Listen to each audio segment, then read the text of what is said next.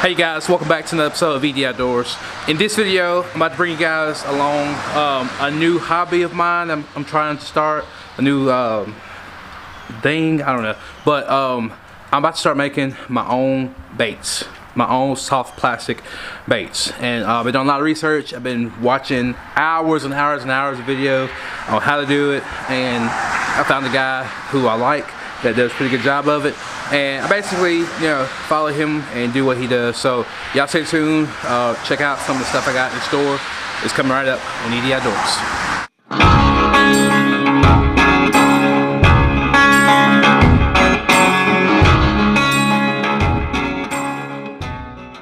Um, I'm about to start making my own soft plastic bait so I want you guys to um, kind of follow along as I go throughout this new hobby of mine. Um, Making soft plastics is easier than most people think. First mold I ordered was a Biocrawl and it was 25 bucks for the mold, but it's a single mold. Basically, um, you order molds and you pour your hot plastic into these molds. Um, you can do a single mold, but of course, obviously, if you make one package of baits that has seven uh, crawls in it, it takes you seven times, you know, to make that you can order bigger molds that have uh, five or six or eight, however many cavities per mold. Uh, if you order a single cavity mold, they're cheaper, and then they have some that, you know, obviously the, the bigger they are, the more they cost. Or we go low end, 80 bucks, upwards of 450 bucks. Um, so just me being me, right now I'm starting off with just a single uh, cavity mold. So, but I did order um, a Senko mold whenever I ordered all my stuff, I ordered a Senko mold and I had to wait for it to get here and it'll be here any minute now. We are literally waiting for the mailman to bring it any minute now, uh, drop off. And it's a aluminum mold with a um, four cavity Senko. So we're going to start making some Senko. So today, let you guys see the process um, with making Senkos. So real quick, uh, basically to make soft plastics, you have plastisol. And plastisol is basically liquid PVC. And once you pour it, you you can add your colors, add your glitters, your flake, and all that good stuff. And you bring the temperature up to 350 degrees Fahrenheit. Once you get to 350 degrees Fahrenheit, it goes through a conversion process and it converts itself from liquid to the solid, which is what you guys know as the soft plastic baits. So, there's a company called Dead On Plastix and they make a higher end plastisol to where you don't have to worry about the chemicals and the you know the fumes and all that good stuff um, that's associated with it. I don't want to go too much into detail because I don't really know a whole lot, but I've I've learned a whole lot over the past two weeks or so from watching. Um, but basically, Dead On Plastix they make really good, high quality stuff. Uh, so I ordered from them, and I don't know exactly which plastic I wanted to to try. They have different blends. They have blends for craw baits, for tubes, for worms, for swim baits all the good stuff. They have uh, plastics that float, plastics that sink. Right out of the gate, to make plastics, you need your plastic plastisol. That's what we have here. You see the different uh, blends we have. So we're gonna use one of those. Um, and then you need your colorants. We have different colors here. I have, um, let's see, I ordered six different colors and I got uh, black, green pumpkin. This is a cocoa, which gives like a brown, um, June bug, green, and blue your glitters. So there are companies that make all this stuff, but this stuff here I bought just from Walmart just to try it out. Now this isn't the best stuff to use obviously because at high temperatures these these glitters will melt and they will dissolve. But uh, I just picked up a little package that, that has all the different colors the greens and the golds that's like a red and blue mix all that good stuff these are small uh, diameter um, glitters picked up this tube here uh, just red flake bigger diameter and then black flake. Got a big big container because basically everything you use takes black flake. So you need an injector. This is aluminum injector. They come in uh, two ounce this is a four ounce six ounce and then they have 10 12 so forth. Um, and this four ounce was like 40 bucks uh, which is on the cheaper end but yeah. They also make dual injectors, so you can draw up two different colors at one time and inject them at the same time, whatever. So you need your plastics, your colors, something to cook your plastic in, just a glass dish, and your basically this is a syringe. All right, so on to the molds. like I said, we're waiting for the Senko mold to get here. This is the Crawl mold. And um, basically what happens is you take your, your hot plastic and you pour it into, uh, this is called sprue. This is where your, your plastic goes in at and it pipes into the cavity, fills it up, and there you go. This is the four inch uh, crawl, and basically that's how you that's how that's how it goes. You go in, you fill it up, and you cast it your mold, and uh, it cools really quickly. This plastic, like literally, once you pour this, you give it a minute or two, it's it's ready to go. Have a knife to mix our plastics, and a thermometer. I picked up this infrared thermometer. You need it because you need your temperature of your plastic to be uh, at a high temperature so it doesn't cool off too quickly. And um, your temperature that you want your plastic is to be 350 degrees. All right, so how to melt your plastics? Obviously you need something to melt it. Ye old microwave. All right, take a microwave. Uh, you don't want to use your in-home microwave, but I am because uh, I'm actually waiting on. The mailman.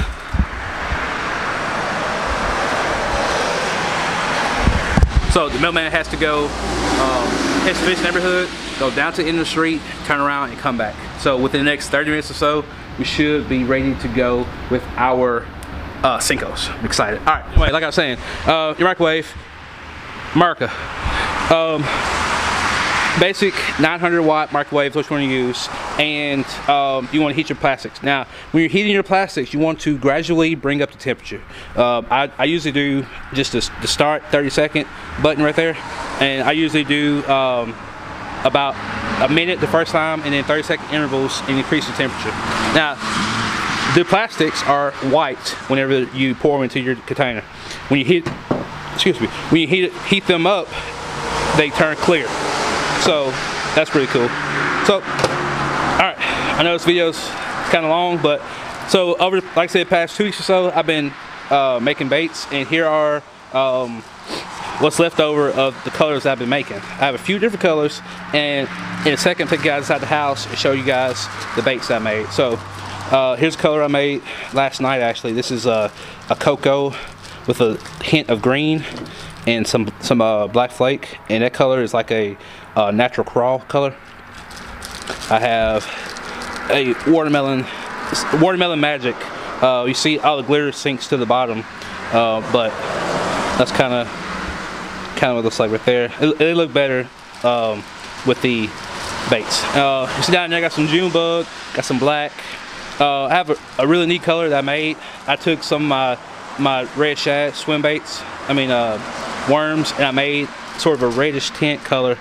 Um, it looks really cool but anyway so yeah so as you make your plastics whatever cools off you can throw back and you can heat it up and make again. Like I said I've made about nine or ten and I still have this much left over and this much right here I could probably make another four or five baits just from remelting the plastic. So one of these is one full cup and that makes a ton of baits sort of a green pumpkin with a bunch of flake in it. Um, I usually start off with just a bare, whatever color I'm making. That's a bare green pumpkin right there with no flakes or anything in it. So I have a couple handful of those. Um, got some blues over here. Thought it was on the cutting board. That's what the blue looks like. Just bare. It kind of looks sort of June bugish, but it's not June bug. Trust me, it's blue. Um, and then I started adding flake and sparkles and glitters. And then I got fancy, like real fancy, and, and I made a two-tone color. And basically, I poured a black one, and um, after the black one was poured, I uh, left the claws um, in the mold, and then I poured the blue on top of it, and it gave me this two-tone, um, sort of two-tone color with the black tips. So that's my blues, and I have my straight blacks um, got sort of a here. This is a, a, black and gold for all my uh, Saints fans out there, black and gold. Um, and then I got some black with red flake and all kind of good colors. And this is the color I told you guys about, the red color I made. And this is this was made from uh, actually I call this color Deadpool. And it's Deadpool because it's literally a mixture of a bunch of baits that I've already had, like commercial baits, like say red, there's some red shad in there. There's some swim bait colors. Just a bu- just a bunch of colors that are mixed in there. Get to focus. It's kind of hard to focus. Um, my manual, fo- there we go, manual focus. Um, so I got that red tint um, color right there. I really like the color. I have some more left over. I'm gonna try to mimic this color again and make a good a good bit of it. So I got that there. And then last night I made this uh, cocoa, and I only made one of them, one of them, but it's a pretty good color. So, sort of natural looking color. All right, you guys. While we're waiting on the, on the mailman, go ahead and knock out a few um, crawls for you guys. Show you guys just how it's done. It's real simple. I mean, it's simpler than you think, but so it's more involved than you think. So there's two ways to make plastic. Like so, you start from scratch with your plastisol, which is how I primarily do it. But um, you can also take existing baits. Like if you like Zoom's um, June Bug color or you know you like Berkley's crawfish color or whatever, you can take those pla- those uh, plastics melt them down and pour your own um, from those colors. There's no copyright or anything on it, like that. Uh, so I'm gonna take, like I said last night, I made this color. Dig it here, find it. Uh, this is just a crawl, crawl color, like a natural color. And um, I'm gonna take this, I'm gonna remelt it, and um, make some more molds from it.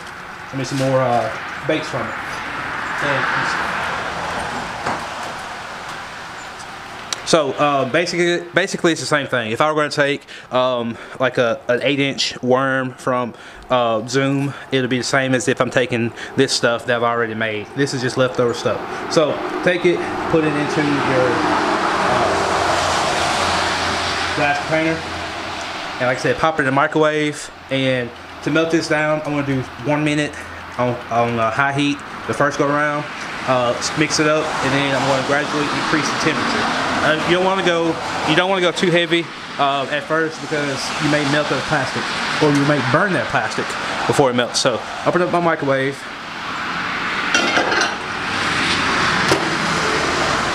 All right, I'm go one minute um, and let that soften up, and then I will stir it, let it go for another 30 seconds to a minute, and then I'll check the temperature. And like I said, once we get it to 350 degrees, it'll be ready to pour.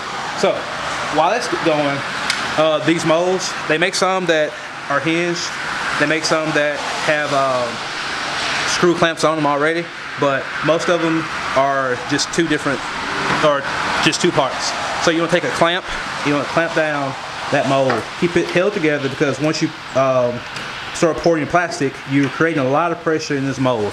All right, you're gonna have your, your tube on there, and this is completely airtight, or not airtight, but uh, it's sealed. You know, push all that plastic through. So keep it clamped down. There's be a lot of pressure, and you don't want to uh, blast all of the, the soft plastic out.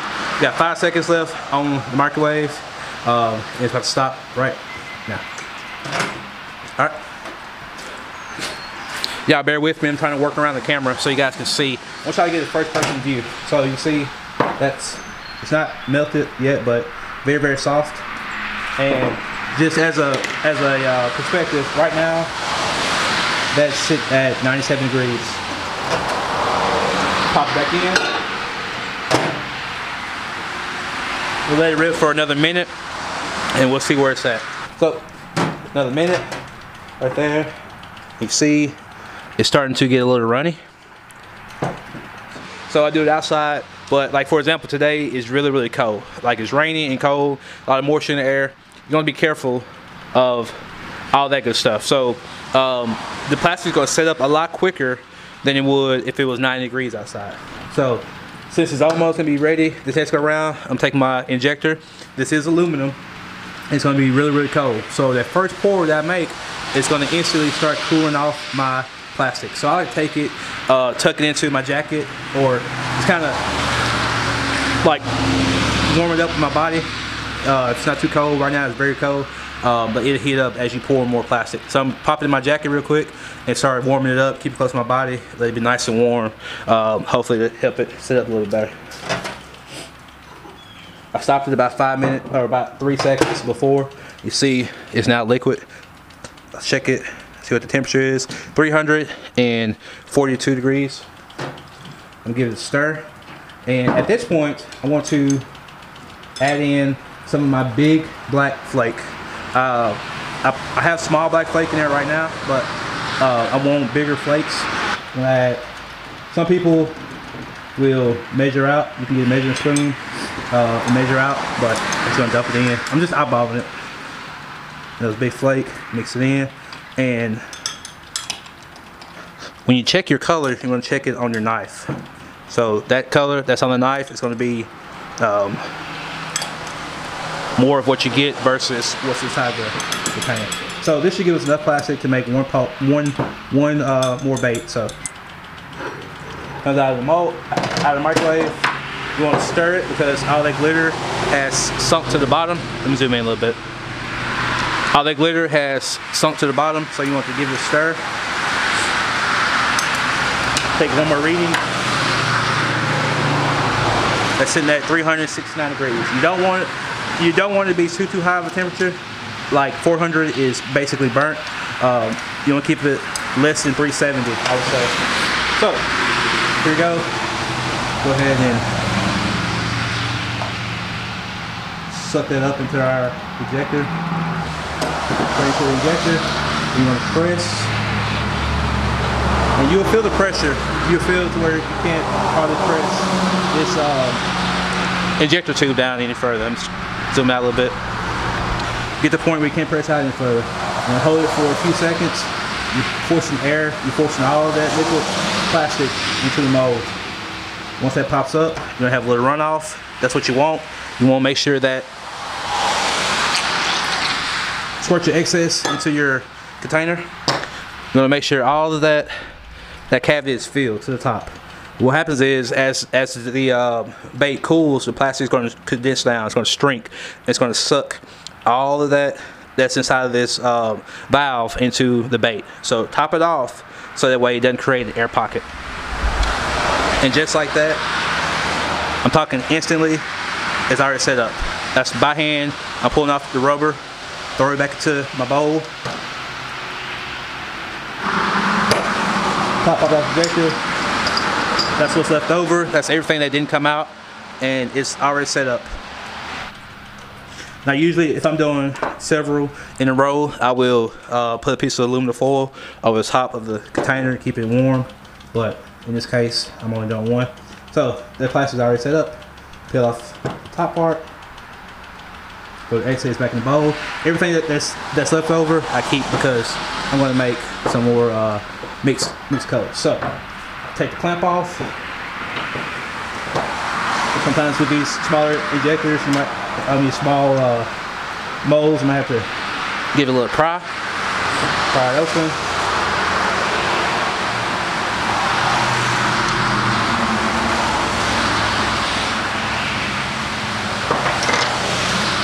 Mold. And there you go. You have your crawbait.